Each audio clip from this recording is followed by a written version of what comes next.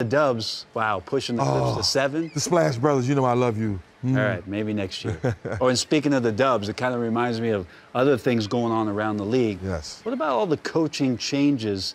The playoffs have been great on the floor, but now we're talking about stuff on the bench that's happening and all the coaching carousel. Remember last year, 13 brand new head coaches.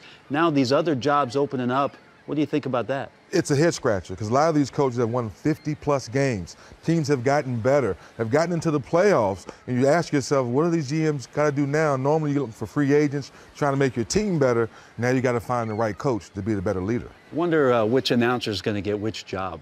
Ooh, It's going to be real interesting. that's going to be very interesting. All right, let's talk MVP. We love those three letters. Yes, we do. But in the playoffs, it's a little different. I'm thinking about most valuable performance. Ah, which, performance. Which games stand out to you so far in the playoffs? So not players performance. No, but most valuable performance. performance. I got to go with LaMarcus Aldridge. Wow. 46, then backs it up with 43 against in the Houston Rockets series. So you're going like on fire. The first one was a show, the second one was an encore. You're combining I'm combining together. the two because the first one we said we know he can play, we know he's gotten better, we know he's a, a All-Star this year, but can he do it again? Can he carry his team out of the, that series?